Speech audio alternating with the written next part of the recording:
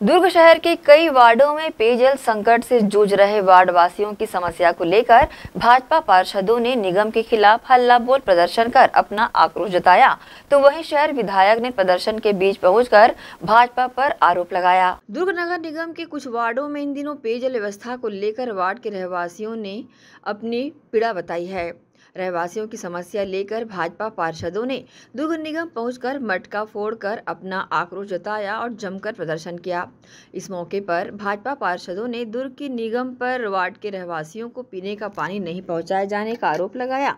यहाँ पर भाजपा ने पहले तो दुर्ग के हिंदी भवन के सामने अपना आक्रोश जताया, फिर बड़ी तादाद में दुर्ग नगर निगम पहुँचे और जमकर प्रदर्शन किया। दुर्ग नगर निगम में लगभग सभी वार्डों में महीनों महीनों पानी नहीं मिल रहा है।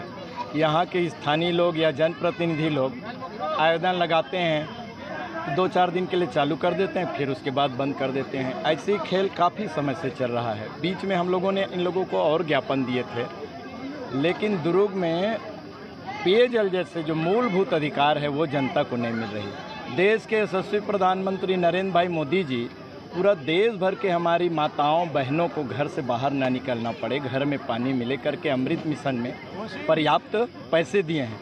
लेकिन कांग्रेस के मंत्री और मंत्री के इशारों पे यहाँ के अधिकारी उस पुण्य कार्य, पानी पिलाने का काम जो है, पुण्य काम है, उसमें भी भ्रष्टाचार में अकंठ डूबे हुए हैं। कभी टेंडर निकालते हैं, फिर निरस्त कर देते हैं प्रदेश से। और हमारे दुर्ग नगर निगम में थोड़ा बहुत काम चालू हुआ है तो कई कई जगह लोग भी गुजर गए। गड्ढे खोद के पड़े हैं। गुणवत्ताविहीन काम हो रहा है। तो आज उसी को लेकर के भारतीय जनता पार्टी के हमारे 20 पार्षद और 40 छाया पार्षदों के नेतृत्व में नेता प्रतिपक्ष अजय वर्मा जी और भारतीय जनता पार्टी के नेतृत्व में आज आयुक्त को घेरने के लिए आए थे।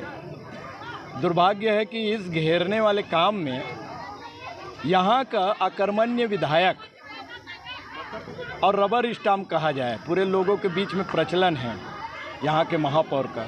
दोनों खिलखिलाते हुए सामने उपस्थित है। इन लोगों को शर्म करना चाहिए कि जिन दायित्वों के लिए यहाँ के मतदाताओं ने इन लोगों को बहुमूल्य वोट दिए हैं। और मैं अरुण ओरा जी को कितने बार दुर्ग नगर के लोगों ने वोट दिया, लेकिन ओरा जी ने आज तक उनके वोटों का महत्व तो नहीं समझ पाया।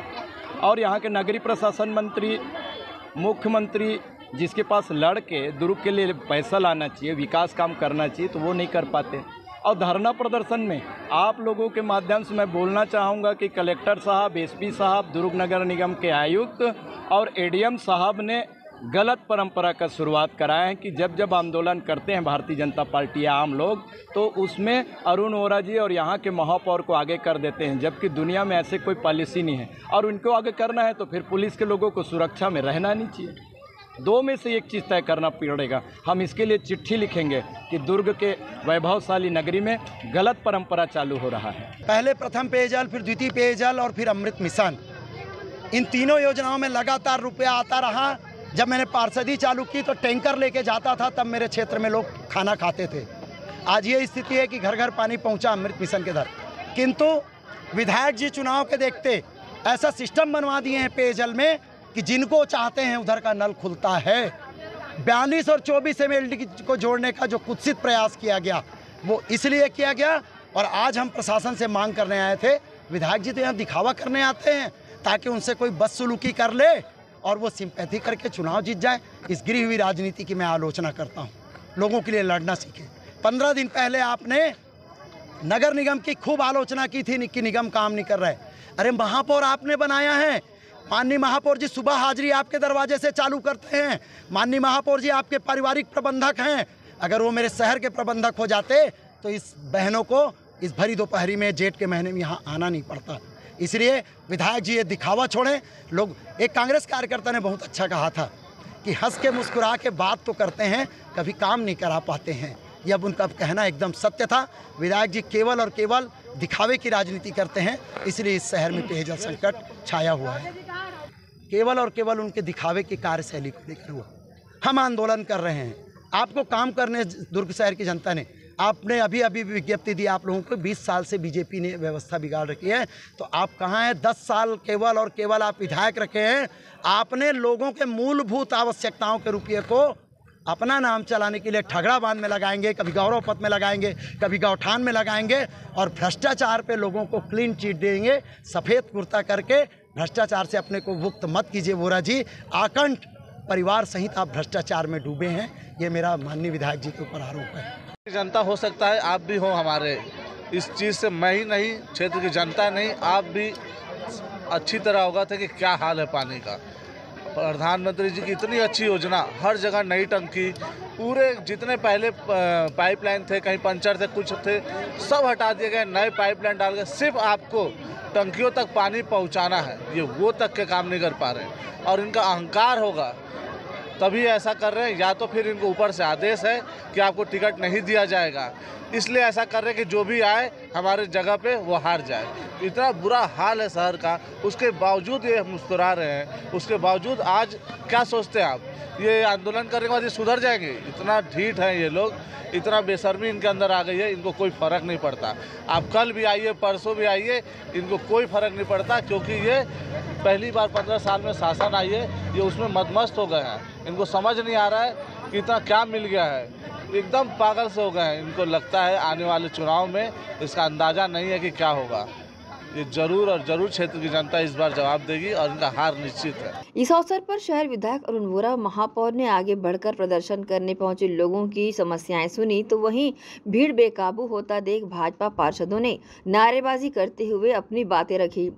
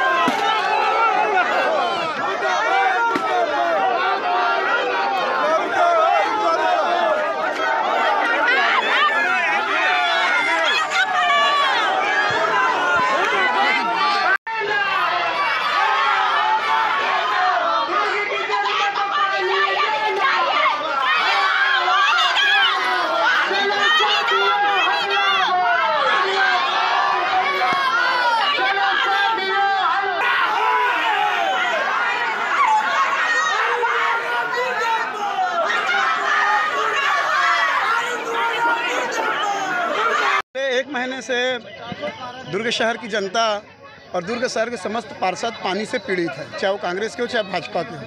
हम लोगों ने पूर्व, एक माह पूर्व से लगातार महापौर कमिश्नर साहब को अवगत कराते गया है कि भीषण गर्मी में पानी की बहुत ज़्यादा समस्याएँ हो गई है। देखते देखते समस्या इतनी बढ़ गई कि नल खुलते ही एक गिलास पानी नहीं टपक रहा है नल से। पूरे गयानगर क्षेत्र, मटपारा क्षेत्र और आधा शहर शंकर नगर का एरिया भी आता है। इन क्षेत्रों में लगातार पानी नहीं मिलने से लोगों को आक्रोशित हुए पार्षदों को गाली सुनना पड़ रहा है। ऐसी स्थिति में बार बार समझाने के बाद भी आप नहीं समझे तो हम लोगों ने अब प्रशासन के खिलाफ एक हल्ला बोल का कार्यक्रम रखा है, जो आगामी है। आज नगर निगम हुआ, आज अब वार्ड वार्ड में होगा ये हल्ला बोल का कार्यक्रम, ताकि ये भ्रष्टाचारी कांग्रेस के विधायक और महापौर जो यहाँ बैठकर अपने इसी हाल में बैठे हुए हैं, और पब्लिक की जनता की जो तकलीफें वो नहीं समझ पा रही है।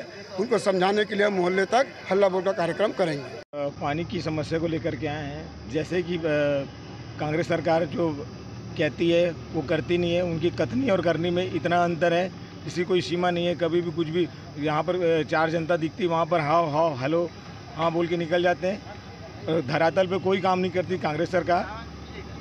आज पानी के लिए मैं और मेरा वार्ड, मेरा पूरा दुर्ग स्तर की जनता आज आंदोलन करने आए थे। अगर हमने अल्टीमेटम दिया हुआ है, दस दिन में अगर पानी की समस्या नहीं होती पूरी तो हम लोग उग्र आंदोलन करेंगे और इस सरकार का ईट से ईट बजा देंगे। डिग्री है तो सड़कें में, सड़कों में मेरी महिला बहनें उतरी है पानी के लिए, हल्ला बोल करने। क्यों? ये कांग्रेस की विधायक अरुण वोरा जी और कांग्रेस के महापौर धीरज बागलीवाल के जो परिषद है, इसकी भ्रष्ट नीतियों के कारण लोग पानी के लिए तरस रहे अमृत मिशन योजना के तहत हमारे देश के प्रधानमंत्री आदरणीय नरेंद्र मोदी जी ने घर घर पानी पहुँचाने एक करोड़ रुपए राशि दी है और इसमें घर घर तक पानी पहुंचाना था। इनकी भ्रष्टाचार नीति के कारण पूरे पैसा खत्म हो गया। विशेषज्ञों ने शिवनाथ नदी इंटरक्वेल, जहाँ से बयालीस एम फ़िल्टर पानी पानी पहुँचता है, उसके लिए एक करोड़ साठ लाख की मोटर पंप लगाने की जानकारी दिया था। बाकायदा नोट सीट चलाया था और एक साल पहले आगाह कर दिया था यदि मोटर नहीं बदला गया तो गर्मी में भारी पानी की किल्लत होगी। इन लोगों ने चुप रहा। विधायक महोदय घूम घूम कर फ़ोटो खिंचवाया लेकिन पानी की सूद नहीं लिया। और नतीजा ये हुआ, मोटर नहीं लगाने के कारण आज टंकियाँ भर नहीं पा रही है। और टंकियाँ नहीं भरने के कारण लोगों के घर में पानी नहीं आ रहा है। और पिछले बीस दिन से कई वार्डों में गया नगर के घरों में तो बूंद बूंद पानी नहीं आ रहा है। हम रायपुर नाके की बात करें, गजानन नगर नगर की बात करें, उनचालीस नंबर वार्ड की बात करें, या बोरसी के वार्ड की, बात करें, कातुल बोर्ड की बात करें, इन सब वार्डों में पानी की भारी किल्लत है। और उस किल्लत को लेकर महिला बहनें आज हल्ला बोलने आई हमारे भारतीय जनता पार्टी के पार्षद आए हैं और हल्ला बोल के माध्यम से विधायक के साथ साथ कांग्रेस सरकार और जिला प्रशासन को आगाह करती है। यदि पानी की समस्या दूर नहीं हुआ तो आने वाले दिनों में और उग्र आंदोलन करेंगे। दुर्ग नगर निगम में पानी की समस्याओं को लेकर प्रदर्शन करने पहुँचे भाजपा पार्षदों और वार्ड के रहवासियों के बीच। शहर विधायक ने अपनी बात कही साथ ही वार्ड के लोगों को पानी की बोतल भी बांटा और मीडिया के समक्ष अपनी प्रतिक्रिया दी। पूरी तरीके से मुद्दा विहीन है। उन्होंने कुछ कार्य किया ही नहीं है दुर्ग के विकास के लिए। पंद्रह साल जब उनको मौका मिला तो वो कुंभकर्णी नींद में सोए रहे। आज साढ़े चार साल से कांग्रेस पार्टी काम कर रही है और न केवल काम कर रही है, बल्कि आप देखिए, दुर्ग शहर का परिवर्तित रूप।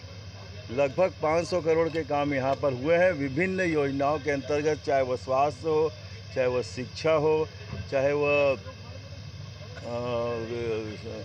जितनी भी संस्थाएँ हैं उनके निर्माण के लिए निर्माण कार्य हो, सड़कों का चौड़ीकरण हो, सड़कों का डामरीकरण हो, बहुत प्रकाश व्यवस्था हो, पिकनिक स्पॉट हो, पिकनिक स्पॉट हम लोग के दो बन रहे हैं, एक तो रिवर फ्रंट और दूसरा आपका छकड़ा बाँध और तीसरा हमने लक्ष्मण झूला प्रस्तावित। तो ये ऐसे काम इनको मौका मिला था, पंद्रह साल तक किए नहीं, साढ़े चार साल में काम हो, पीने के पानी के लिए हमने योजना बनाई योजना हमारी अच्छी थी, पर इनकी सरकार थी तो गलत डीपीआर बनाया, जिसकी खामियाजा हमको भुगतना पड़ा, फिर भी हमने सुधार किया।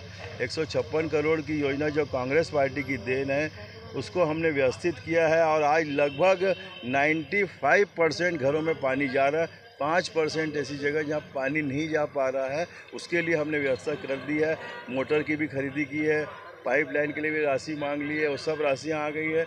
अब भारतीय जनता पार्टी को पता चल गया कि राशि आ गई है तो कहीं ना कहीं कुछ तो अपना श्रेय लें तो श्रेय लेने से कुछ नहीं होता। बहरहाल, पेयजल की अवस्था को लेकर वार्ड के लोगों ने अपनी आवाज़ें बुलंद की है। देखना होगा इस भीषण गर्मी में पानी की समस्या से वार्ड के रहवासियों को कितना निजात मिल सकती है। ग्रैंड एशियन न्यूज़ के लिए दुर्ग से नसीम फारूकी की रिपोर्ट।